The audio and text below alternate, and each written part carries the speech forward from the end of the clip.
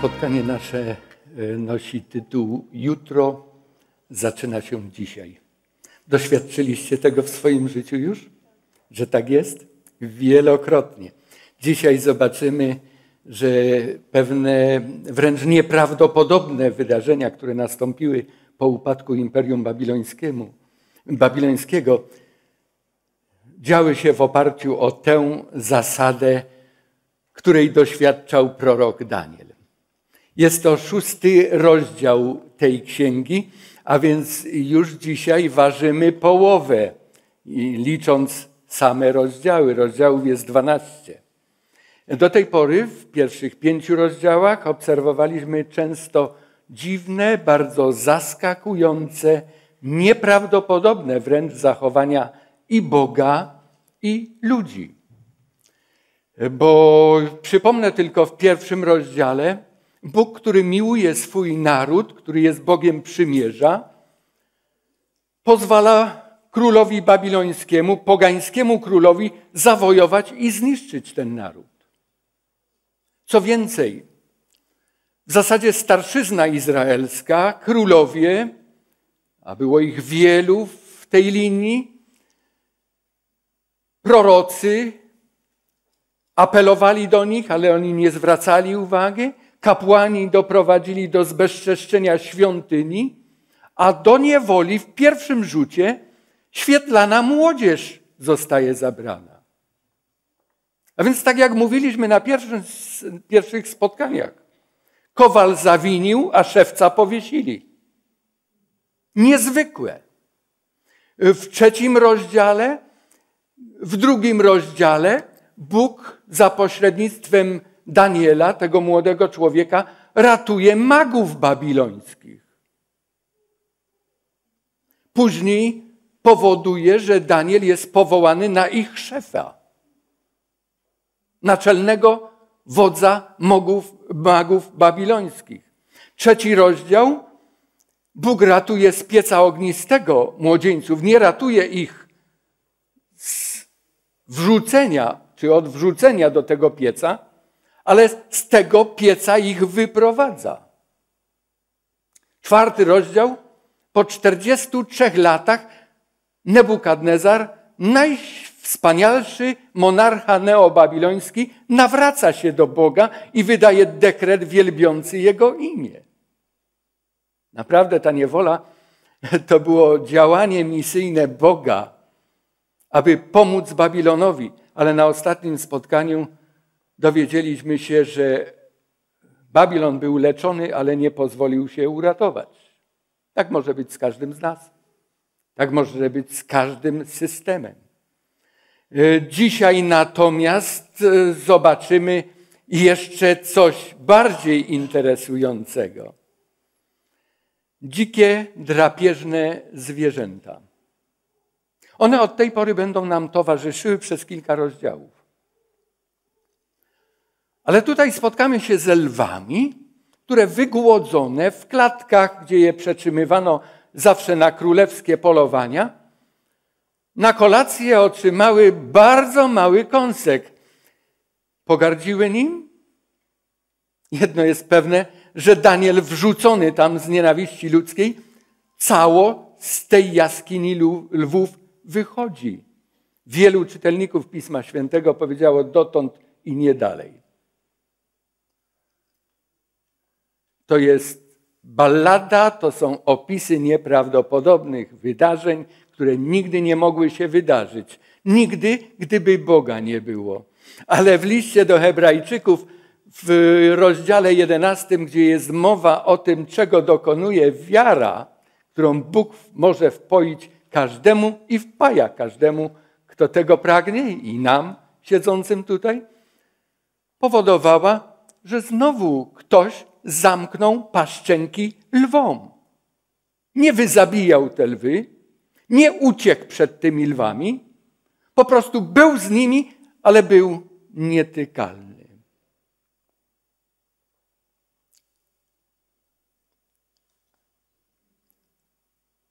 Jest to lekcja wiary, modlitwy, spokoju w najtrudniejszych sytuacjach życia, w jakich możesz się znaleźć. A przed nami ciekawy czas. A więc uważam, że lekcja płynąca z szóstego rozdziału Księgi proroka Daniela jest niezwykle ważna. Jest to lekcja szlachetności, uczciwości tego człowieka przez całe jego życie od młodości aż do tego momentu. Daniel ma tutaj 84 lata.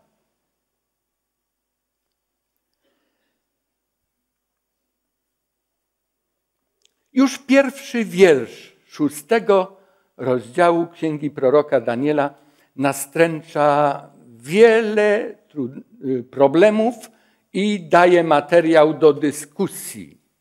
Przez krytyków biblijnych został znowu przekreślony Daniel jako pisarz tej księgi, jako ktoś, kto nie znał historii. Gdyby w tamtym czasie był, to by wiedział, że po upadku Babilonu nie Med zaczął panować, ale Cyrus zaczął panować, bo on zwyciężył Babilon.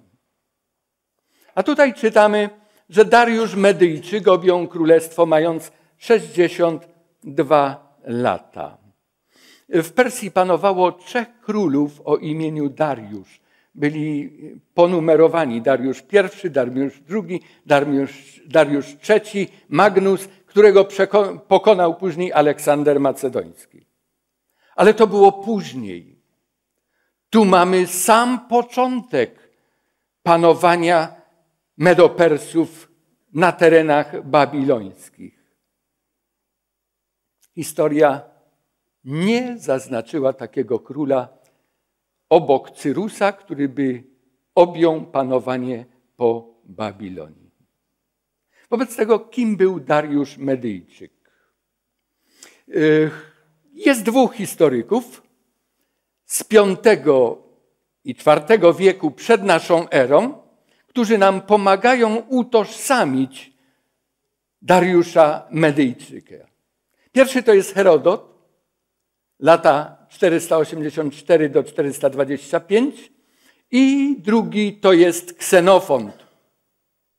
Dlaczego te ich imiona się nie pojawiły, to nie wiem, ale ten pierwszy to jest Herodot, ten jest Ksenofon. Jeżeli chodzi o Herodota, nazwany został ojcem historii. On po raz pierwszy w ogóle w historii ludzkości, jako Grek, zaczął spisywać bardzo uporządkowaną historię. Szczególnie zajmował się okresem y, perskim, później okresem greckim. Herodot rodzi się pięć lat przed śmiercią, przepraszam, Ksenofon rodzi się pięć lat przed śmiercią Herodota i kontynuuje również tę tradycję pisarską.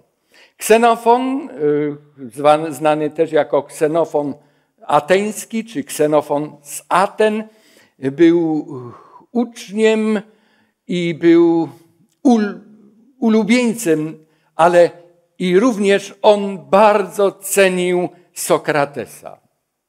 Wychował się jak gdyby na Sokratesie. Y, jest również autorem Cyropedii. To jest dzieło, które nam, które nam opisuje dokładnie sceny, niemal całe wydarzenia z życia Cyrusa.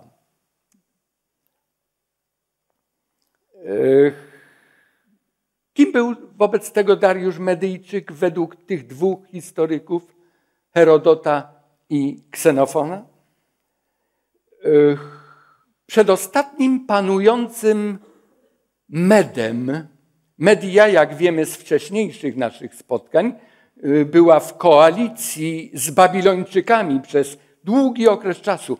Cały czas panowania Nebopolasara, a więc od 625 roku przed Chrystusem, w 605 roku zmarł i panowanie przejął jego syn Nebukadnezar, aż do 562 roku tworzyli koalicję. Oni to w 612 roku razem pokonali potęgę asyryjską, zniszczyli Niniwę. A więc e, według e, Ksenofona i według Herodota przedostatnim Medyjciem, Medyjczykiem był Astiages. Miał dwoje dzieci. Córkę, która miała na imię Mandane i syna, który miał na imię Astiages. Wtedy już nie istniała po, po 500, po 590 562 roku, przepraszam, po śmierci Nebukadnezara, już nie istniała koalicja. Wobec tego Astiages zaczął szukać nowej koalicji i z dynastią Achemenidów się łączył. Do tej dynastii wpisują się dzisiejsi Irańczycy. I wyszła za mąż za jednego z panującego później już po śmierci Astiagesa, y, panującego Persa, nazywał się Kambyzes. Kiaksares był bratem Mandane, a ze związku Mandane i Kam Kambyzesa urodził się Cyrus jako Pers. Kiaksares, który przejął panowanie po swoim ojcu Astiagesie i panował w zasadzie aż do 536 roku, był bratem Mandane, a zarazem był wujkiem Cyrusa. Tutaj właśnie Cyropedia nam opisuje bardzo barwnie te wszystkie wydarzenia. E, według Herodota córka Astiagesa jeszcze za życia Astiagesa y, miała zalać swoim moczem całą Azję i cały ówczesny świat. I nikt nie wiedział, o co chodzi. Dopiero później, gdy urodził się Cyrus i gdy Cyrus zaczął panować i zajął całe tamte tereny, niektórzy historycy podpisywali, że to było spełnienie tamtego snu. Czy tak było, czy nie tak było, w, Cyrope, w Cyropedii mamy ten opis zawarty. Cyrus jest w, w koalicji już z Kiaksaresem od 559 roku i w 530 roku zajmu, zajął ten, przepraszam, skończył panowanie jako, jako e, Pers. Ale idziemy dalej.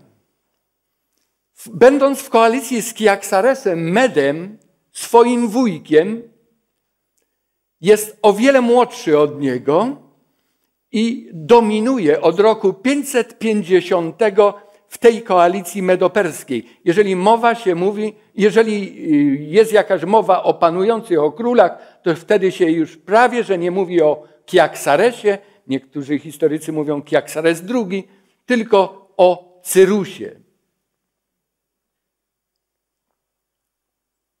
Po zdobyciu Babilonu Cyrus razem z Kiaksaresem zdobywają, ale wodzem i królem jest Cyrus, przekazał swojemu wujowi dary, a ten chciał mu się czymś odwdzięczyć. Zrzekł się całej potęgi panowania w Medii, przekazał władzę temu swojemu yy, siostrzeńcowi, a ten oddał mu swoją córkę za żonę. Cyrus osadził wtedy 62-letniego koalicjanta na tronie w Babilonie. Stąd Kiaksares to inaczej biblijny Dariusz Medyjczyk. Po śmierci teścia w 536 roku Cyrus przejął absolutne panowanie w Medopersji. Ja widzę, że ginie mi dużo obrazu, cała górna część. Czy tego nie da się poprawić? Bo tam są informacje, które by nam bardzo pomogły. Ale bez wyłączania, bo jeżeli to będziemy sobie po prostu radzić tak, jak to, tak jak to jest. Zwróćmy uwagę, że w tej sytuacji Cyrus jest nie tylko wujkiem, przepraszam, Kiaksares, to nie tylko biblijny Dariusz Medyjczyk. Aha, i teraz można go będzie zdjąć, tak? Nie wiem, czy ten ekran nie przeszkadza oglądaniu obrazu tam, nie? Bardzo proszę.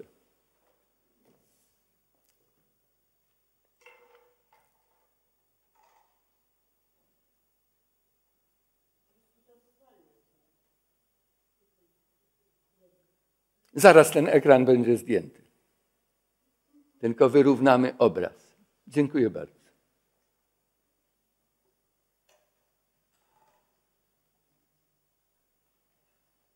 Przepraszamy za takie przeszkody. E, chcę Wam zaraz powiedzieć, że możemy przygotować się na większe. Ilekroć przedstawiam jeden z tematów, już trzykrotnie się to zdarzyło. Zawsze mamy takie kłopoty techniczne, jakie tylko można sobie wymyślić, ale tematyka tamtego spotkania wcale mnie nie dziwi, że, że te przeszkody istnieją. Nawet, nawet się przyzwyczaiłem do nich i jakby ich nie było, to bym za nimi trochę tęsknił. Czy już jest tam widoczność dobra?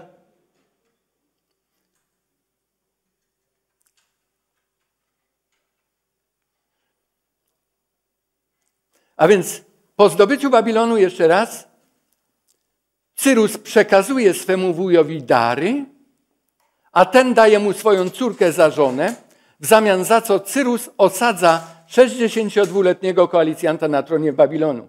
Babilonie. A więc zobaczmy, Kiaksares już w tej chwili jest nie tylko wujem, ale jest i teściem Cyrusa. Widzicie te podwójne więzy rodzinne, jakie tutaj zaistniały w wyniku tych wydarzeń? Dopiero po śmierci teścia, która nastąpiła w 536 roku, absolutną władzę w Medopersji przejmuje, a później zwanej tylko Persją już przejmuje e, Cyrus.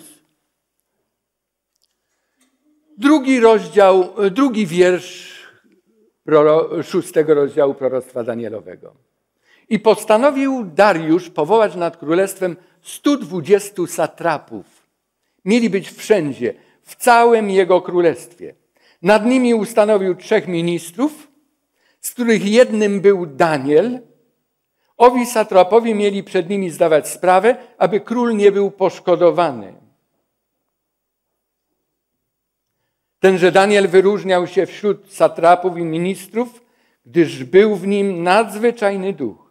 I król zamierzał ustanowić go nad całym królestwem. To jest najtrudniejszy moment w całym tym rozdziale. Jak to jest? Pamiętacie, jak skończył się piąty rozdział? Daniel wyjaśnia to pismo Belsazorowi. Dowiaduje się, że w zamian za to otrzyma trzecią pozycję w Babilonie. I czytamy w końcówce piątego rozdziału. Ubrano go w specjalną szatę, włożono złoty łańcuch na jego szyję, obwołano po całym królestwie, że jest trzecim panującym w Babilonie. Pierwszym, jak wiemy, był Nabonid, który był wtedy w Temie. Drugim był Belsazar, który był w Babilonie, a trzecim jest Daniel. Pamiętam, że skończyłem ostatnie spotkanie taką myślą, że ta nagroda, jaką Belsazar zaserwował Danielowi, to była chyba ostateczna zemsta Babilonu na proroku. Bo teraz tej samej nocy zabity jest Belsazar, a Daniel jak wygląda? Babilończyk. A więc skazany tak samo na zabicie. A jednak nie ginie. Dlaczego? Wyróżnienie, jakie Daniel otrzymuje od Dariusza, że go powołuje do swojego rządu, jest jednym z trzech najważniejszych ministrów, a później nawet starać się będzie o to, żeby go awansować, jest czymś nieprawdopodobnym. To jest, to jest niemożliwe. Ale tutaj widzimy początek realizacji tej zasady. Jutro zaczyna się dzisiaj. Albo puszczaj chleb twój po wodzie, po wielu dniach znajdziesz go. Ta zasada działa pod każdym względem i dobrym, i złym. Działa w życiu każdego człowieka. My, jako mądrość narodu, podpisaliśmy pod tym, jak sobie pościelisz, tak się wyśpisz. Nie chwal dnia przed zachodem słońca. Kto pod kim, pod kim dołki kopie, sam w nie wpada. To wszystko sprowadza się do tego samego. Jutro Twoje zaczyna się dzisiaj. To, co dzisiaj zrobiłeś, to jutro otrzymasz. To, coś dawno robił, wróci do Ciebie jak bumerang. Jak to się stało, że Daniel, będąc wcześniej tak wysokim urzędnikiem w Babilonii, otrzymuje również bardzo wysokie stanowisko w Medopersji? Wyobrażacie sobie to? Ktoś powiedział coś tak trafnego na ten temat, że postanowiłem to przenieść na ekran. To tak jak gdyby Muammar Kaddafi został powołany na ministra w Unii Europejskiej. Albo Fidel Castro na senatora Stanów Zjednoczonych. To jest niemożliwe. To jest absolutnie niemożliwe. I mówią, tu ten bajopisarz nie pomyślał, że będą ludzie inteligentni, którzy to przeczytają i powiedzą, coś tutaj brakuje, coś tutaj nie gra.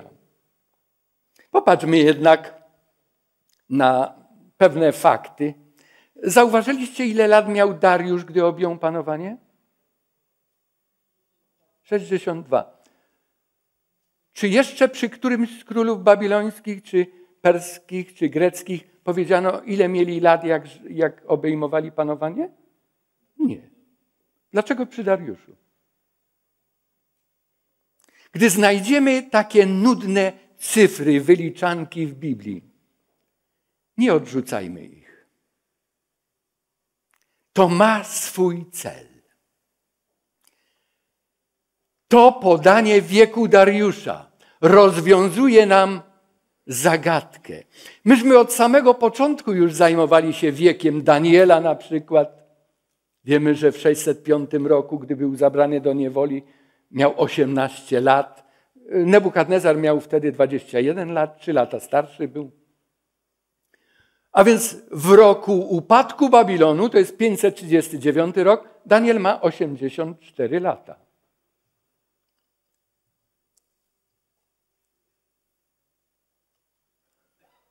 Mówiliśmy, że Kiaksares, Med, to jest Dariusz Med. Dariusz to jest przydomek.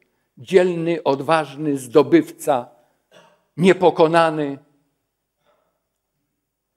W roku upadku Babilonu miał 62 lata, czyli urodził się kiedy?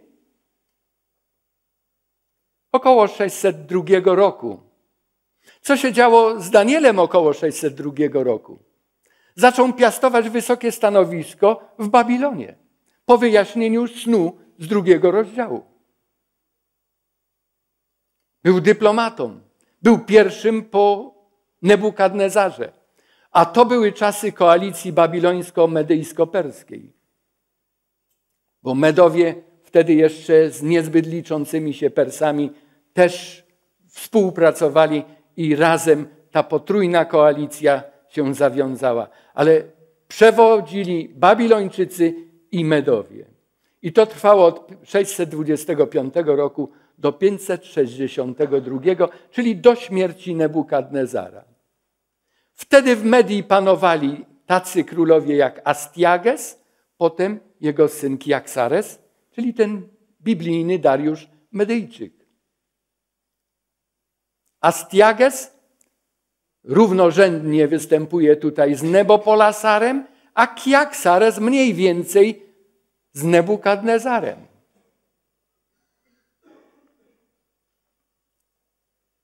O tym już mówiliśmy. W 612 roku ta koalicja rozprawiła się z Asyryjczykami. I teraz tworzy się kontynuowanie tej władzy za Dariusza.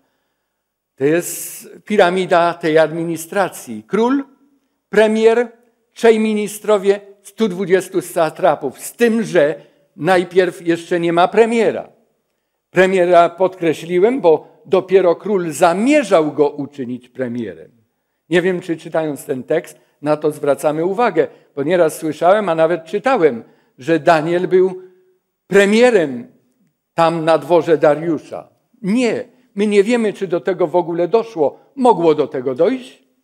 Wiemy tylko, że taki zamiar król miał. Gdy Kiaksares się urodził, Daniel służbowo od tego czasu musiał bywać w Medii. Musiał być na dworze Astiagesa, ojca Kiaksaresa. I ten mały chłopiec, który zaczął raczkować, a później chodzić, a później go wdrażano już w sprawy państwowe, uczył się, że tutaj jest między nami a Babilonem ktoś szczególny. To nie jest Babilończyk, to nie jest Met, to jest Żyd. Ale to jest człowiek, który z nikim nie kolaboruje za plecami drugiego. To jest człowiek jak, jak kryształ czysty, wierny Bogu. Wyobrażacie sobie, co na temat Daniela słyszał ten młody Kiaksares? A później koalicja się rozpadła. W 562 roku a więc chyba później się nie widzieli. Od tego czasu, gdy umarł Nebukadnezar, my już nie czytamy o Danielu na dworze babilońskim. Od 562 roku do 539, którego to roku ponownie się spotykają ci dwaj mężowie. Daniel ubrany jak Babilończyk. A Dariusz Met ma objąć panowanie. Ciekawe jest to, dlaczego Cyrus przekazał to panowanie swojemu teściowi i swojemu wujowi. Bo on znał Babilończyków. On współpracował w koalicji z nimi przez dziesiątki lat. Wobec tego naturalną rzeczą, że osadza w Babilonie tego, który na sprawach babilońskich się świetnie wyznaje. A gdy Dariusz Med zobaczył tam Daniela, to chyba, chyba z radości podskoczył. Wyobrażacie sobie to spotkanie po kilkudziesięciu latach? Tamta koalicja się rozpadła, nie słyszeli o sobie i nagle w takich okolicznościach się znowu spotykają. Nic dziwnego, że chce go mieć przy sobie. To nie jest sprzedajny człowiek. To jest człowiek, którego zna od dziesięcioleci, którego rzetelność była nigdy niepodważona. Szlachetność, sumienność. To było to wczoraj Danielowi. I na spotkaniu z Dariuszem to było to dzisiaj. Moi drodzy, warto o tym pamiętać. Warto o tym pamiętać z dzieciństwa, w młodości, na studiach, w pracy, gdziekolwiek jesteś. Pamiętaj, że z tymi ludźmi w różnych okolicznościach możesz się jeszcze spotkać. Co im się utrwaliło o tobie? Czy w przypadku, gdy będziesz atakowany, będą cię bronić, czy staną po twojej stronie? Nie staną dlatego, że to układ koleżeński jest. Staną, bo cię znają.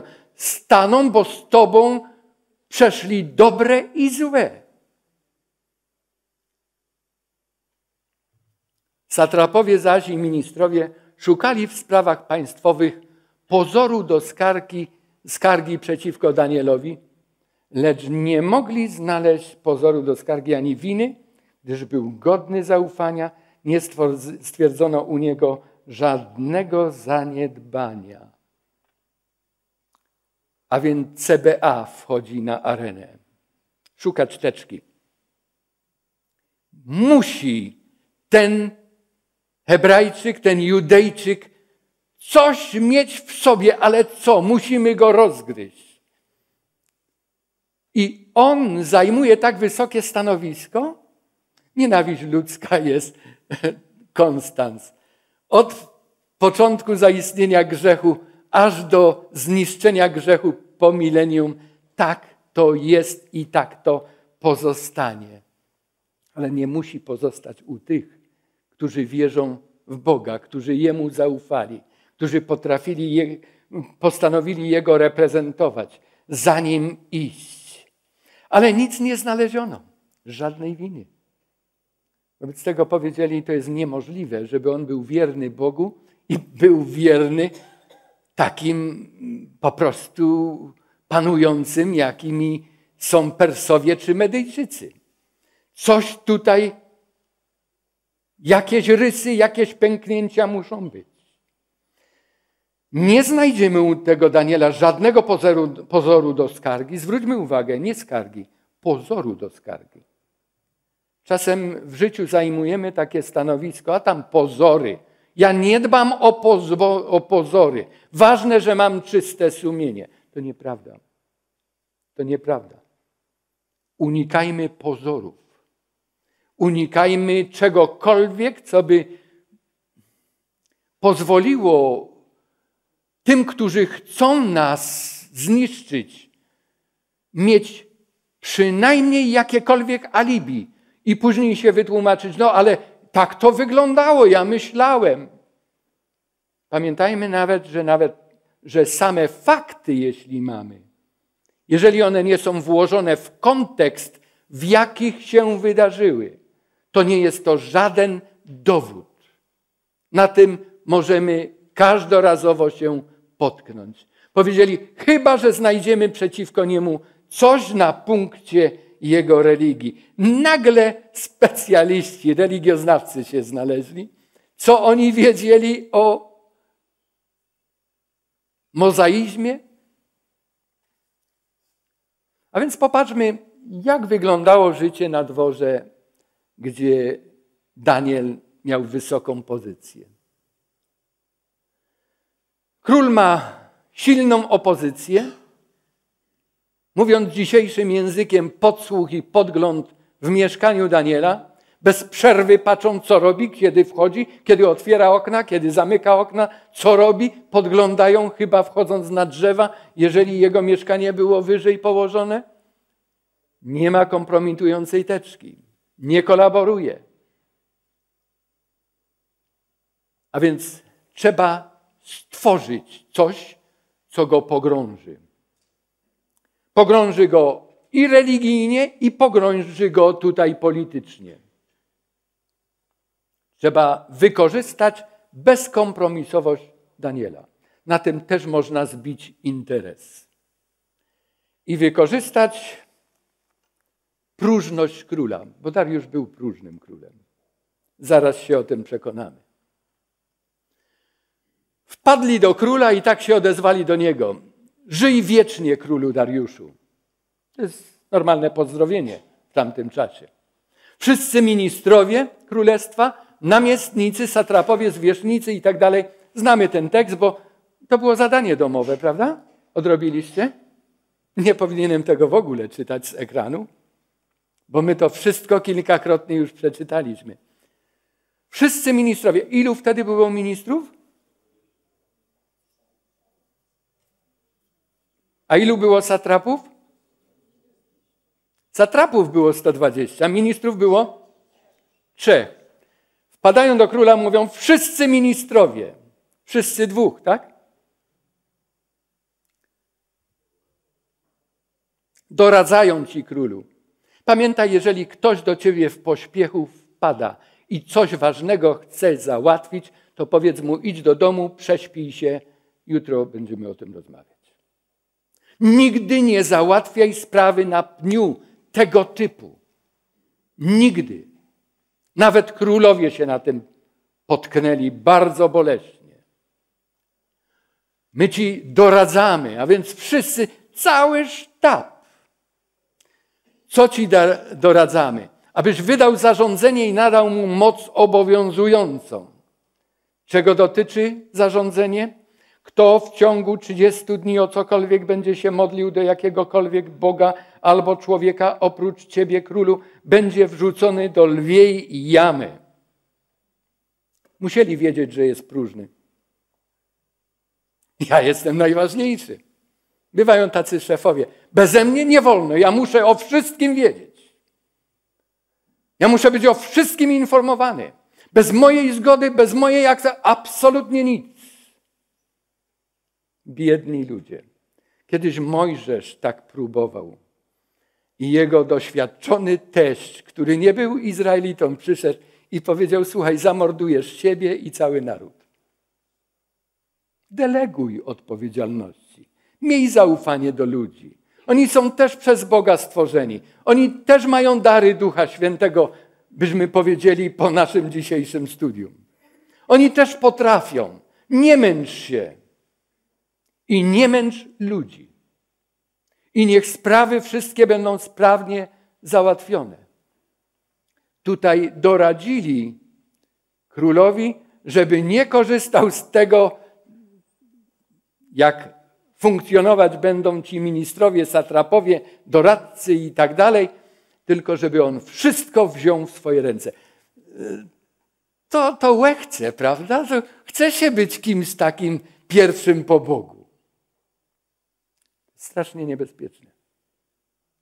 Dlatego mówiliśmy o tym, że studium księgi proroka Daniela, gdy je przyjmiemy tak, jak to było napisane, to jest lekcja życia dla każdego dziecka Bożego, dla każdego, kto pragnie iść za Jego głosem.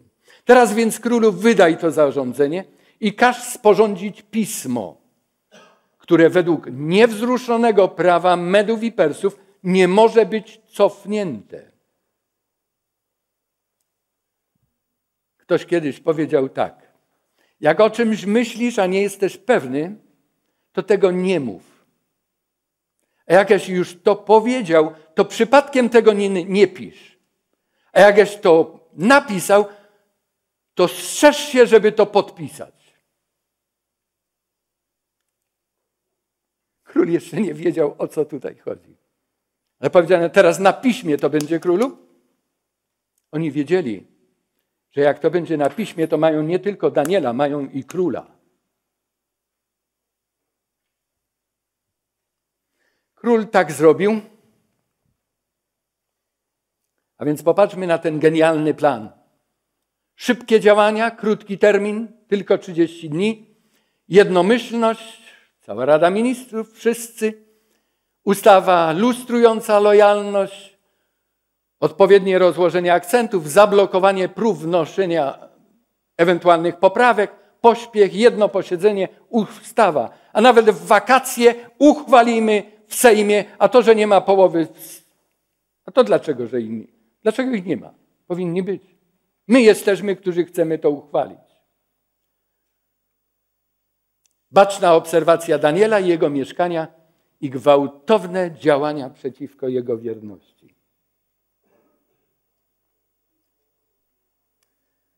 Sprytne.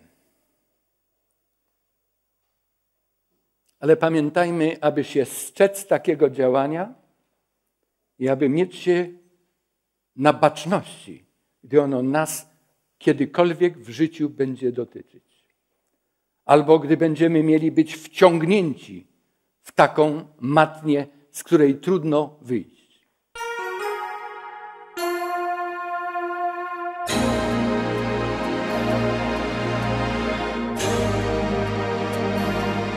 Gdy Daniel się dowiedział, że sporządzono to pismo, udał się do swojego domu, a miał w swym górnym pokoju okna otwarte w stronę Jeruzalemu i powiedział: Boże, widzisz, to są okoliczności, w których nie mogę być już wierny, zamknę tę okiennicę, albo 30 dni, przebaczysz mi, jak nie będę z Tobą rozmawiał?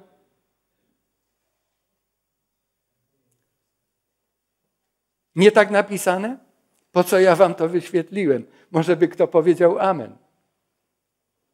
Moi drodzy, u Daniela nic się nie zmieniło. Nic się nie zmieniło. On wiedział, co to jest. On wiedział, że to jest nagonka na niego. On się nie krył, on się nie chował, on niczego nie manifestował. On po prostu pozostał sobą. Oby Bóg dał nam tę łaskę, abyśmy na dobre i złe potrafili pozostać sobą przed Jego obliczem.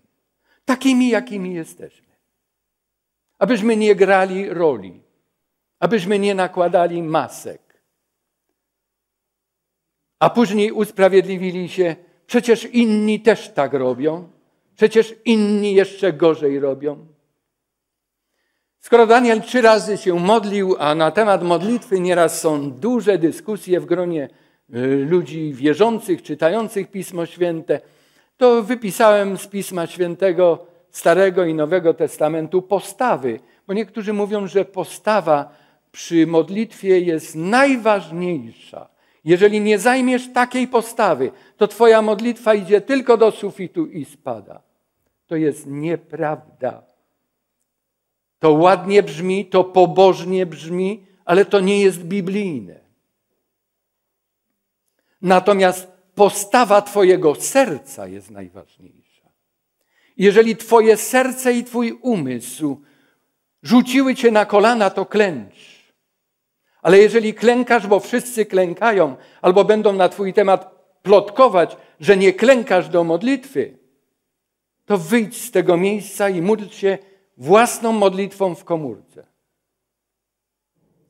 Nieraz chcielibyśmy w tak intymne sprawy, jak osobisty kontakt człowieka z Bogiem, wejść z naszą doktryną. Naszą, myślę o mojej prywatnej doktrynie.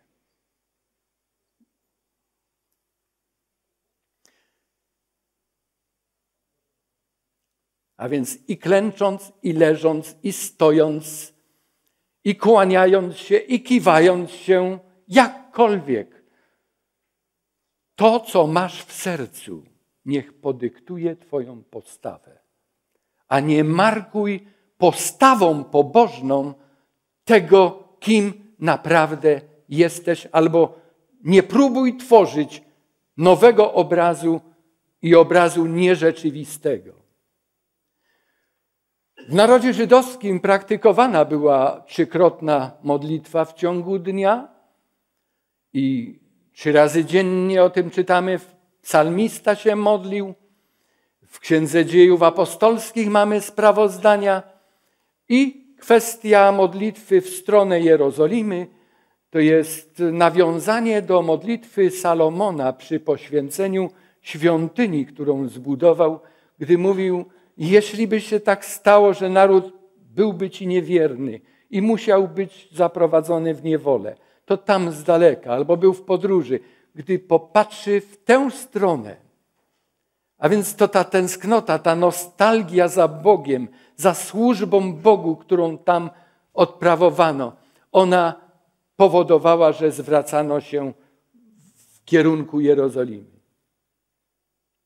Wtem wpadli owi mężowie i zastali Daniela modlącego się i błagającego swojego Boga.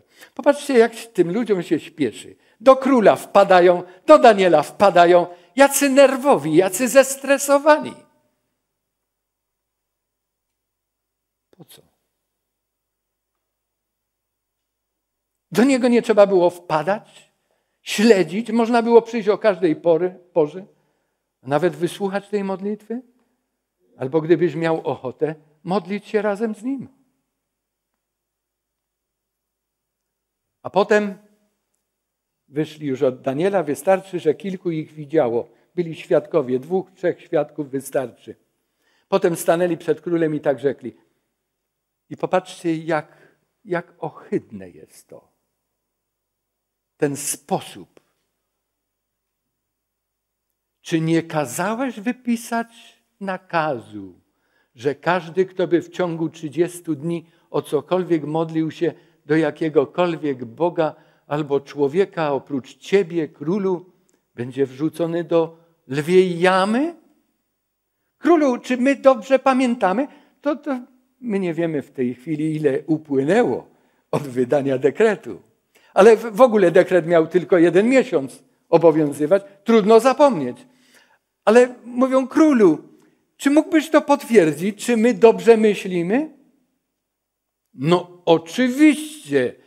Nie, rzecz to niewątpliwie zgodnie z niewzruszonym prawem Medów i Persów. Chyba się uniósł troszeczkę. To co, dopiero mi doradzaliście, a teraz chcielibyście odwołać? Nie ma odwołania takiego dekretu, który wydany jest w Medopersji. I wtedy mówią, królu, nie wiemy jak ci to powiedzieć, ale jeden z wygnańców judzkich ma na imię Daniel. Nie zważa na ciebie, o królu, ani na twój nakaz, który kazałeś wypisać, trzy razy dziennie odprawia swoje modły. I wtedy przyszło olśnienie na króla. Wtedy zrozumiał, do czego potrzebny był ten dekret. Chce ratować króla. Cały dzień zastanawia się, czy się naradza, chyba nie ma z kim, bo jest sam, absolutnie sam. Pamiętaj, w takich sytuacjach zazwyczaj jesteśmy absolutnie osamotnieni. Nie licz na nikogo i na nic. Jeżeli jesteś z Bogiem, jesteś w najdogodniejszej pozycji i sytuacji. Jeżeli wczoraj doprowadziło do takiego jutra, to dziękuj Bogu za to doświadczenie. Ale jeżeli jest inaczej, to i tak ci nikt i nic nie pomoże. Zastanawia się aż do zachodu słońca, jak go uwolnić. Zostawili króla. Niech sobie pomyśli. Ale gdy słońce chyliło się ku zachodowi, znowu do niego wpadli. Powiedzieli, zaraz, o co chodzi? Ty jesteś królem Medii i Persji? Oni wiedzieli, że królem rzeczywistym był Cyrus. To tak, tak rodzinnie, tak grzecznościowo, tak kurtuazyjnie wprowadził tego 62-latka na tron. Przy okazji rozezna sytuację, wyłagodzi tych Babilończyków, wie jak z nimi postępować. To mi pomoże. Ale królu, wasze państwo się skończyło. To się nazywa jeszcze Media i Persja, ale w zasadzie prawa obowiązują. Wiedz królu, że jest prawem u Medów i Persów, że żadne zarządzenie lub nakaz wydany przez króla nie mogą być zmienione. Przypominają mu to. To, o co przed chwilą pytali tego samego dnia. Pytali, czy to prawda. A teraz mówią, królu, nie ma wyjścia. Znalazłeś się w życiu w takiej sytuacji? W każdej chwili możemy się znaleźć w takich sytuacjach. Jak wtedy będziemy postępować? Należy się uczyć z tego, aby ważnych decyzji nie podejmować ad hoc, szybko, w pośpiechu, bo komuś się śpieszy. A nawet jeżeli tobie się śpieszy, to pamiętaj, że ważne decyzje wymagają rozwagi, czasu.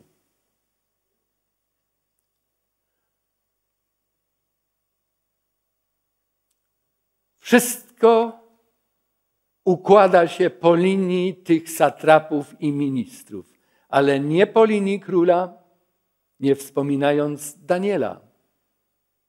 On będzie ofiarą. To jego zjedzą lwy. Wyrok trzeba wykonać i przed sobą dwóch szczególnie ludzi ma trudną noc. To jest Daniel i Dariusz.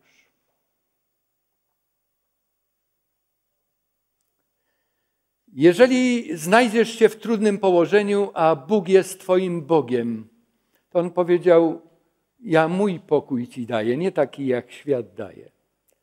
Świat Ci nie może takiego pokoju dać, świat nie może Ci zabrać tego pokoju, możesz się go natomiast zrzec, odstępując ode mnie. Daniel utrzymuje stały kontakt, modli się tak jak zawsze.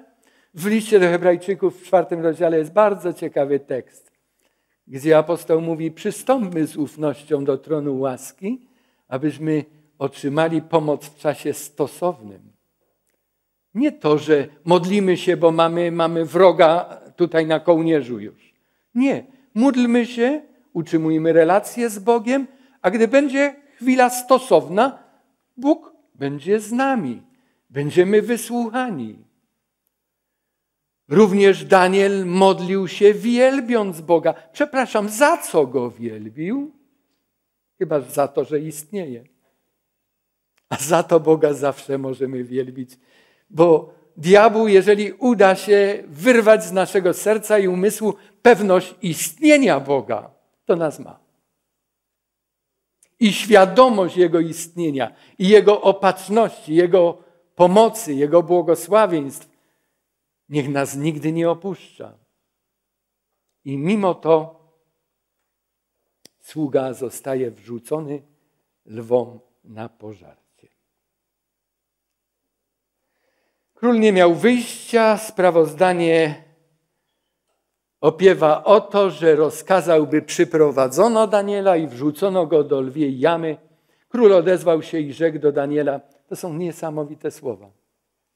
Twój Bóg, któremu ty nieustannie służysz, niech cię wyratuje. Skąd Kiaksares, czyli Dariusz Med, wiedział, że Daniel ustawicznie temu Bogu służy? Bo gdy się urodził, to i później zaczął rozumować, to już się spotkał z Danielem, który służył temu Bogu. On był w administracji Babilonu. On układał się z Medami, z Persami, ale on był sługą Boga Najwyższego i jemu służył bezustannie. Jeżeli służysz Bogu, będziesz życzliwy. Nie zawsze się zgodzisz z tym, co inni ludzie będą proponowali, ale będziesz transparentny swojej uczciwości, rzetelny i gotowy nawet pomóc znieść konsekwencje.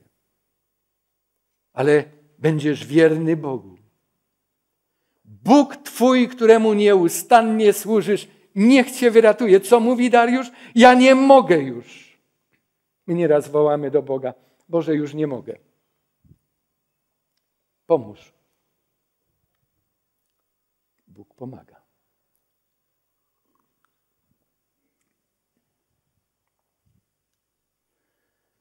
Następnie, gdy wrzucono Daniela, przyniesiono kamień, położono na otworze jamy. W Babilonie odkryto takie jaskinie, pomieszczenia, gdzie trzymano lwy na królewskie polowania. I zapewne do tej jamy został Daniel wrzucony. A król opieczętował go swoim sygnetem i sygnetami swoich dostojników, aby sprawa Daniela nie uległa zmianie. Czy między tymi pracownikami rządu było zaufanie jakiekolwiek? Było to w czasie, gdy jeszcze peweksy istniały. Ktoś z Was wie, co to jest peweks? Był, bo już nie ma. A więc, proszę. Jeszcze są? O, proszę bardzo. To nie wiedziałem. Wtedy rzadko bywałem, ale w... mieszkałem w Podkowie i pojechałem do Grodziska Mazowieckiego. Tam był peweks. Coś miałem kupić. Już nie wiem, co to było ale bardzo mi na tym zależało. Przyjechałem zaraz rano, żeby szybko wrócić, bo, bo to coś było potrzebne tutaj w Podkowie. Godzina dziewiąta miał być otwarty, nie ma. Dziesięć po dziewiątej nie ma. Piętnaście po dziewiątej. O niektórzy mówią, o idzie pani. No to wszyscy nabraliśmy ochoty. że już wyjdziemy i, i nadziei, że to się skończy nasze oczekiwanie. Ona przyszła, stanęła z nami i stoi. I, I ktoś mówi, to nie otwiera pani? Mm, ona mówi, nie, nie mogę. Mówi, państwo widzą, tu są trzy kłódki. My trzy pracujemy tutaj, każda ma klucz do jednej kłódki. Wzajemne zaufanie, prawda? Jeżeli zerwiecie swoje pieczęcie, a naruszycie też moją, to będę wiedział, żeście tutaj byli.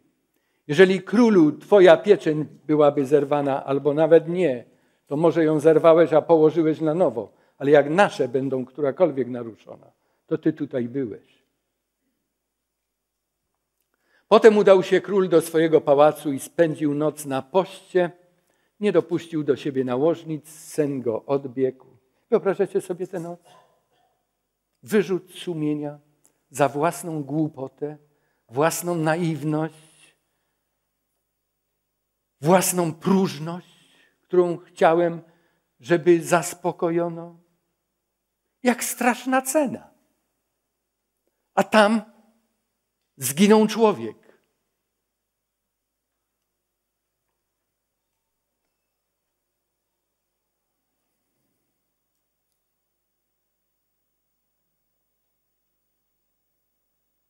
Król powiedział w ostatniej rozmowie do Daniela: Bóg, któremu ustawicznie służysz, niech cię wyratuje. Nie spał chyba całą noc, poranek nowego dnia i pierwsze pytanie to pytanie związane z tamtym życzeniem z wieczora. Czy Twój Bóg, któremu nieustannie służysz, mógł Ci pomóc?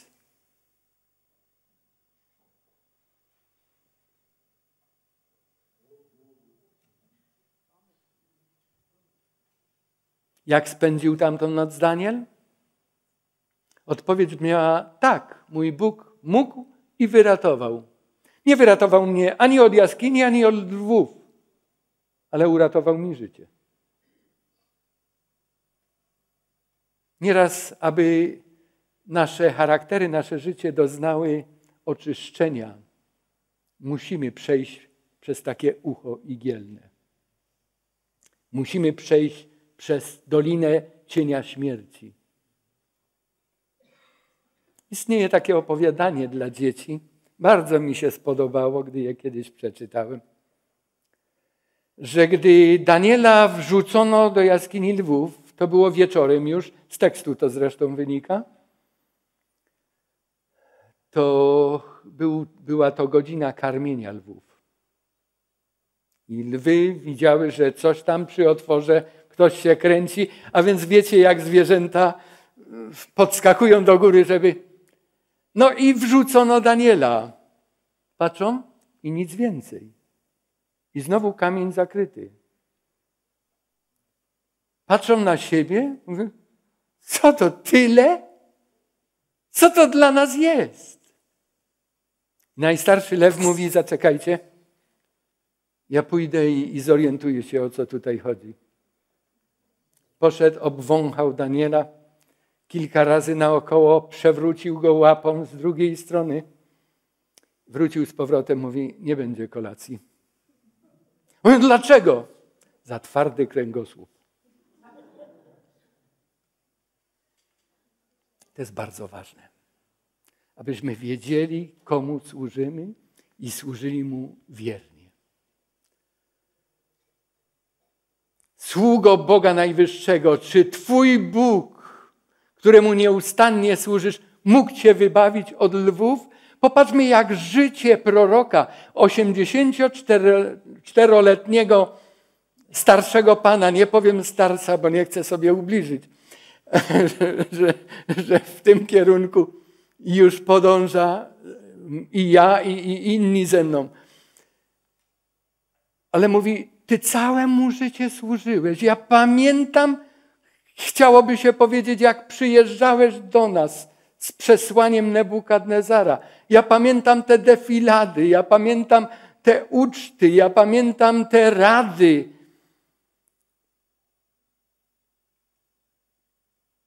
Czy mógł cię uwolnić od lwów?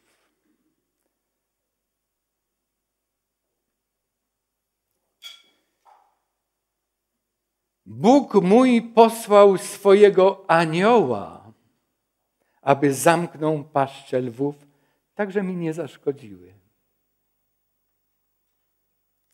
Czy Daniel widział tego anioła, czy nie widział, to nie ma znaczenia. Ważne jest to, że Daniel wiedział, to nie dlatego lwy go nie zjadły, bo był niejadalny. To nie dlatego lwy go nie zjadły, bo po prostu coś im się stało, dolegliwości żołądkowych dostały. To anioł zamknął im paszczęki.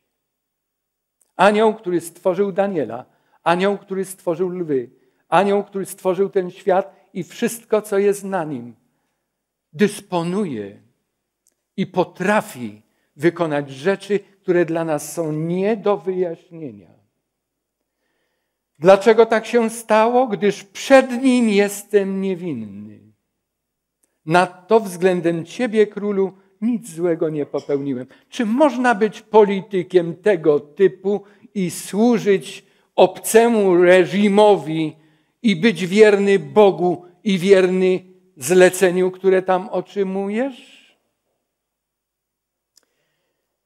Ilu Danielów Bóg chciałby mieć na dworach, w parlamentach i w zespołach rządowych? Droga młodzieży, wy, którzy studiujecie i tam spotykacie się z różną młodzieżą, pamiętajcie, że oni będą zasiadać w parlamentach. I oni będą wiedzieli, kto z nimi był w grupie, kto z nimi był na roku, jakim był. Czy można mu zaufać bezgranicznie? Czy jest bezkompromisowy? Czy jest tendencyjny? Czy jest sprzedajny? Czy służy Bogu na niby i mówi: A ja tam do tego mojego kościoła znowu muszę iść. Przyszedłbym na egzamin, ale sobota, a co powiedzą, ja jestem. I może nawet pełnisz jakąś funkcję. Moi drodzy, jutro zaczyna się dzisiaj. Ellen White tak dużo rad w tym względzie dała naszej młodzieży. Pamiętajmy o tym w przedszkolu, jeżeli, a dzieci mają swoje zajęcia. W szkole podstawowej, w gimnazjum, w liceum, na studiach, w pracy, gdziekolwiek jesteś. Czy ci ludzie wiedzą, że Ty służysz bezgranicznie swojemu Bogu? Czy wiedzą, że jesteś do tańca i do różańca? To jest bardzo ważne. Jest bardzo ważne dla ich zbawienia, dla ich przyszłości, dla Twojej przyszłości. To jest bardzo ważne dla Boga. O służbie aniołów bożych na rzecz Jego dzieci będziemy mówili wtedy, gdy będziemy czytali dziesiąty rozdział Księgi Daniela, bo tam jest bardzo dużo na ten temat powiedziane. Królu, żyj na wieki. I wyobrażam sobie, że Daniel, gdy wypowiedział te słowa, to inaczej brzmiały niż wtedy, gdy ci ministrowie mówili: Królu, żyj na wieki. To było zwykłe powiedzenie. Ale tutaj było zapewne życzenie. Królu, ja ci życzę, abym tak jak spotkam się z Nebukadnezarem w wieczności, abym z Tobą, Dariuszu, mógł tam się spotkać. Żyj na wieki. Czy mamy takie życzenia pod adresem bliskich nam osób, naszych współpracowników, szefów, podwładnych? Bardzo się ucieszył król. I teraz oficjalnie już zerwane są pieczęcie, odwalony jest kamień. Powrozy opuszczone, Daniel jest wyciągnięty. Tak jak przy trzech młodzieńcach, którzy wyszli z pieca, nie było śladów zagrożenia, tak i w tym przypadku. Dlatego, że wierzył swojego Rozkazał tedy król, aby przyprowadzono mężów, którzy oczernili Daniela i wrzucono ich do jamy. I jak widzimy w końcówce tego tekstu, lwy były naprawdę głodne. Lwy były naprawdę wygłodzone i chyba zadowolone, że nie sięgnęły po tamten kąsek, bo teraz dostały więcej. Co człowiek sieje, to też rządź będzie. Wierny sługa nie odniósł żadnego obrażenia. Państwo zostało oczyszczone z intrygantów, bo kto pod kim dołki kopie, sam w nie wpada.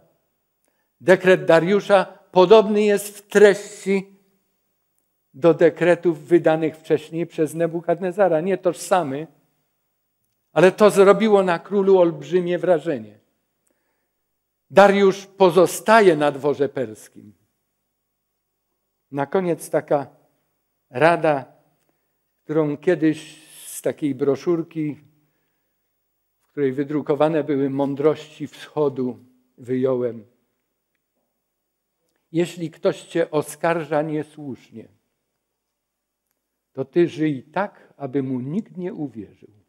Nie kłóć się z nim, że to jest niesłuszne. Nie wytrącaj, nie poprawiaj, nie tłumacz. To prowadzi tylko do sprzeczki, kłótni, niesmaków, wymyślań. Ileż tego mamy dookoła siebie. Ty weź sobie to do serca i proś Boga, abyś mógł pozostać Mu nadal wierny. I pozostaniesz, bo Bóg nie dopuści, abyś miał być zniszczony. I ten dekret. Na całym obszarze mojego królestwa wszyscy winni drżeć i bać się Boga Daniela. On bowiem jest Bogiem żywym, trwa na wieki. Jego królestwo jest niezniszczalne. Władza Jego jest nieskończona. Wybawia, wyzwala, czyni znaki, cuda na niebie i na ziemi. On, który wyratował Daniela z mocy lwów.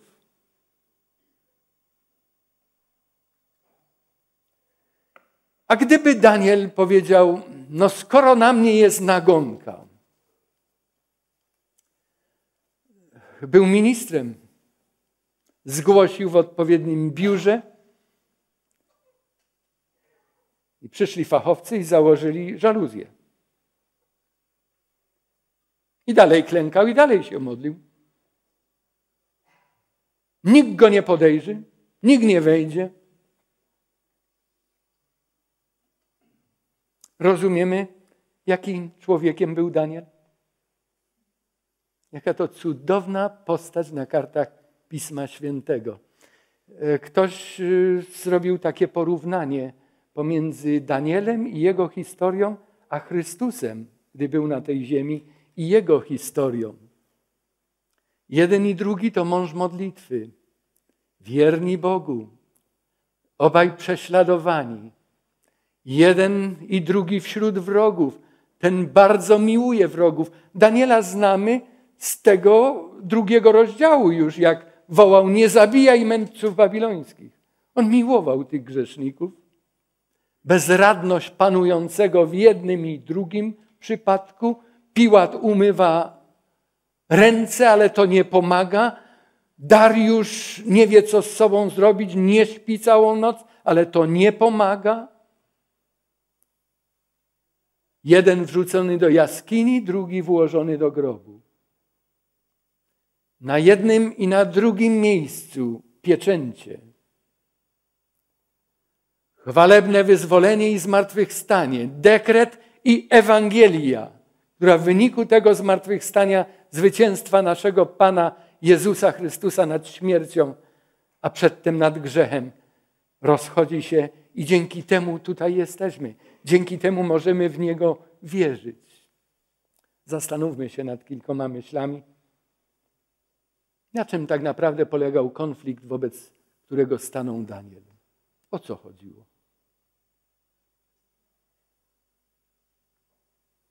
Zwykła zazdrość, prawda? Zwykła zazdrość. Ten obcy tutaj, co więcej, w Babilonie wyróżniony.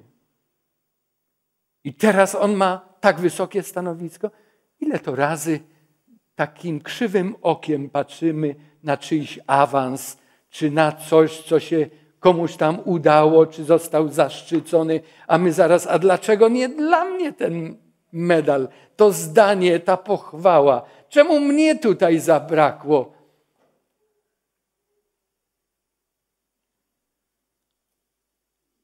Czy widzimy jakąś różnicę między trzecim rozdziałem a szóstym rozdziałem?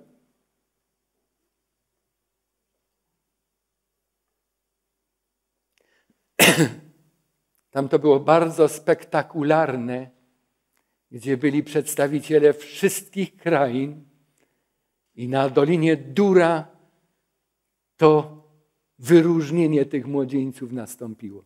Tutaj to były dworskie intrygi.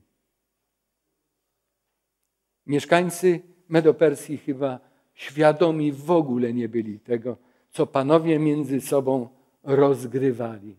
A więc są intrygi i są niebezpieczeństwa, które zagrażają nam na arenie całego świata albo w ukryciu, w jakichś gabinetach.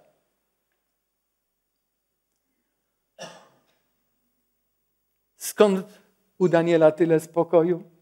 O tym mówiliśmy. Bóg pokoju był z nim i w nim. Czy nie straciliśmy tej godziny z okładem, gdy tutaj siedzimy? Czy potrafimy wyciągnąć z tego, cośmy czytali i obserwowali jakąś naukę dla siebie? Być może zobaczyliśmy siebie albo po stronie Daniela, albo po stronie tych ministrów. A może w jakiejś trzeciej pozycji, której nie da się ani dopasować do jednego, ani do drugiego, bo balansujemy, bo siedzimy na płocie. Jaka koniunktura będzie, to tam przeskoczymy, w lewo albo w prawo. To jest poselstwo Eliaszowe, które się upomina. Jak długo będziecie siedzieć na płocie? Jak długo będziecie kuleć na dwie nogi? Idźcie albo za Bogiem, albo się odpowiedzcie przeciwko Niemu.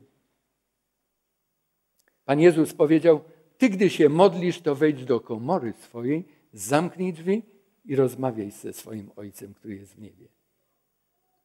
Czy Daniel nie mógł się tak modlić?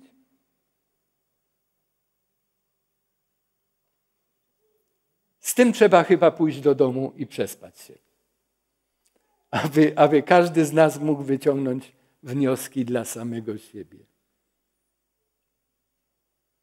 Niektórzy mówią, to brak rozwagi, brak rozsądku. Bóg ci dał rozum po to, abyś myślał, abyś kombinował i nie dał się z tej czy z drugiej strony zaskoczyć. Dzisiaj o godzinie 17 będziemy mieli szczególne spotkanie. Dlaczego?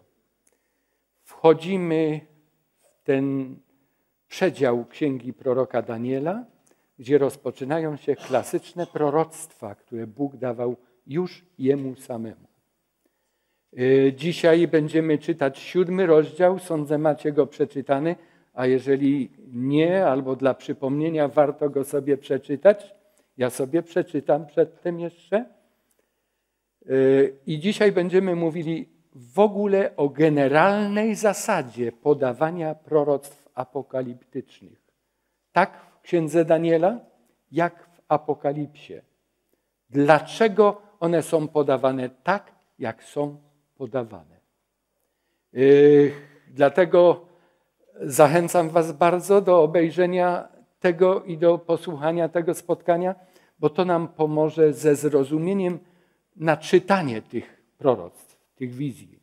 Bo nieraz to wszystko jak gdyby nam się miesza. Czasem nie wiemy, no tam, ale tam już coś o tym było, a teraz też niby o tym, a jednak co innego. Dlaczego tak jest? Jest tak cudownie uporządkowane. I o tej zasadzie dzisiaj wieczorem będziemy mówili. Zatytułowałem to spotkanie Bestie z morza i święci Najwyższego. Niech Bóg nam błogosławi. I nie wiem, nie ma, nie ma technicznych możliwości chyba, tak? Na rzucenie. Jest? Nie ma. Dobrze. Mówimy jak Polak z Turkiem. Tak i nie. To jest tak i nie. Dobrze. Wobec tego zakończymy modlitwą i zaśpiewamy przed modlitwą jeszcze pieśń 130, której jeżeli ktoś nie zna na pamięć, to niech słucha uważnie tych, którzy obok niego są, bo zazwyczaj wszyscy ją znamy na pamięć, tak? Czy mamy muzykującą osobę? Proszę bardzo. właśnie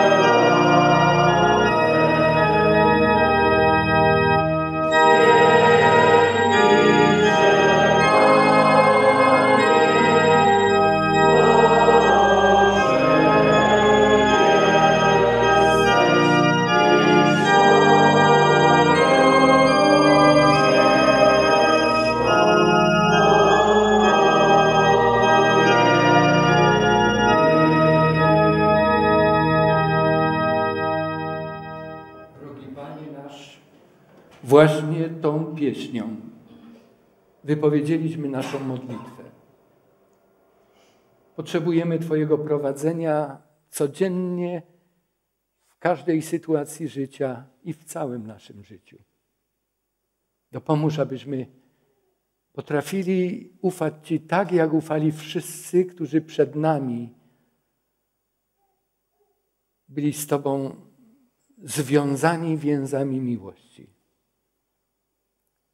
abyśmy mogli z życia takich mężów i niewiast nauczyć się, że z Tobą, drogi Boże, nie ma nigdy przegranej. A również i tego, że nasza przyszłość jest uzależniona od naszego dzisiejszego stosunku do Ciebie i do innych ludzi. Dziękujemy, że jesteś i wierzymy, że każdy, kto Tobie zaufał, jest bezpieczny i spotka się z Tobą w Twoim królestwie już wkrótce, gdy powróci nasz Zbawiciel. Tęsknimy za tym wydarzeniem i prosimy, bądź z nami do tego czasu. Amen.